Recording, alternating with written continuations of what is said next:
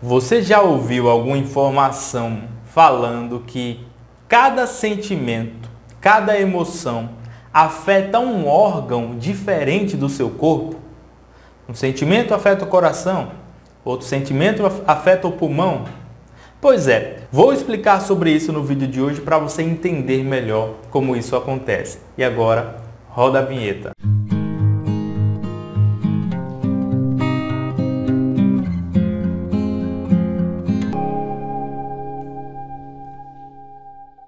Se você é novo ou nova por aqui, seja sempre muito bem-vindo e muito bem-vinda a mais uma dica natural de saúde emocional. Se você não me conhece, muito prazer, eu sou o terapeuta emocional João Everton Rodrigo, estou aqui todos os dias, sou criador do tratamento Método CDA, escritor de alguns livros e e-books sobre o tema de saúde emocional e eu quero te ajudar a ficar bem emocionalmente, mas para isso eu preciso que você se inscreva no canal e ative o sininho para não perder nenhum vídeo que eu postar aqui em primeira mão. Eu quero mandar alguns abraços aqui. Um abraço para Maria das Dores Oliveira, que falou boa tarde, Joel. Estou muito agradecida por mais um vídeo. Nas minhas crises iniciais, quando eu não sabia do que se tratava, seu canal foi o que me orientou e me ajuda até hoje. Gratidão.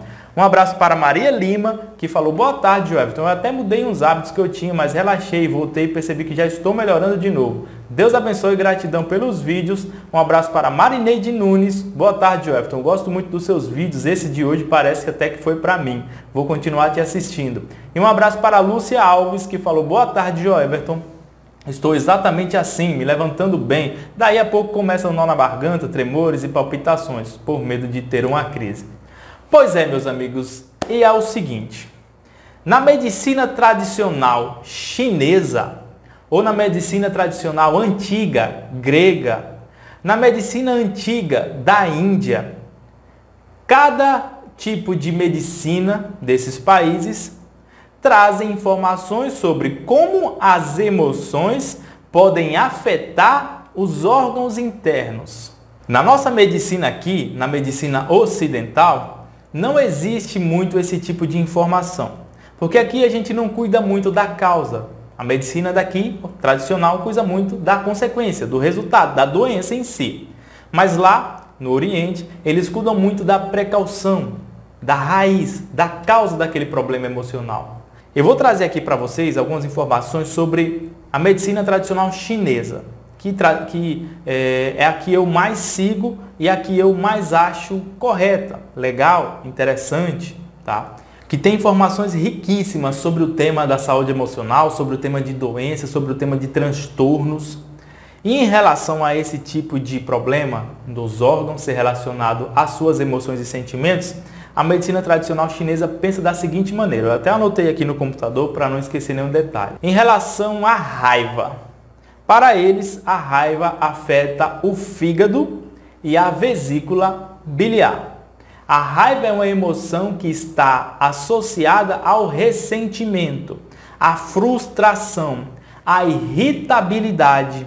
E na medicina chinesa eh, se diz que emoções do tipo coléricas, ou seja, desse tipo, são armazenadas no fígado e na vesícula biliar. A raiva pode causar pressão alta e tonturas, certo? A tristeza. A tristeza, segundo a medicina chinesa, ela pode afetar os pulmões. A dor emocional pode causar desarmonia nos pulmões e problemas na circulação da energia para o corpo. A dor pode enfraquecer a vontade de viver, danificar os pulmões e causar doenças respiratórias. Segundo a medicina tradicional chinesa, a melancolia pode causar problemas no baço. Melancolia e preocupações excessivas afetam o baço e pode causar fadiga, dificuldade de concentração. O medo, o famoso medo, ele pode afetar os rins. O medo pode causar desarmonia nos rins, de acordo com a medicina tradicional chinesa. O medo extremo pode levar uma pessoa a perder de repente o controle das funções da bexiga e rins. Susto, Aquele susto pode causar problema onde? No coração. O susto é uma emoção de choque, o pânico causado por um evento súbito e inesperado pode fazer com que você acabe desencadeando algum problema no coração, sentindo palpitações e alguma coisa nesse sentido. E a ansiedade, Joeberton? A ansiedade pode trazer problemas no pulmão e intestino grosso.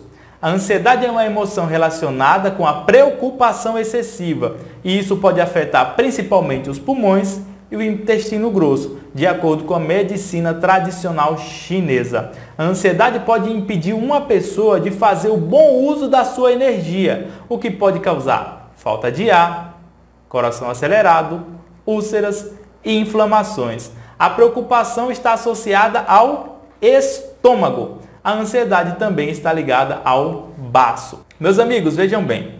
Esse vídeo não é para você se desesperar, botar a mão na cabeça, meu Deus, eu vou dar problema no rim, vou ter problema no coração, vou ter problema no estômago. Não é nada disso. Eles estão trazendo aqui informações sobre como as nossas emoções estão ligadas aos nossos órgãos internos também. Não quer dizer que uma pessoa que experimentou ansiedade vai ter problema no pulmão. Não quer dizer que uma pessoa que experimentou tristeza vai ter problema no intestino.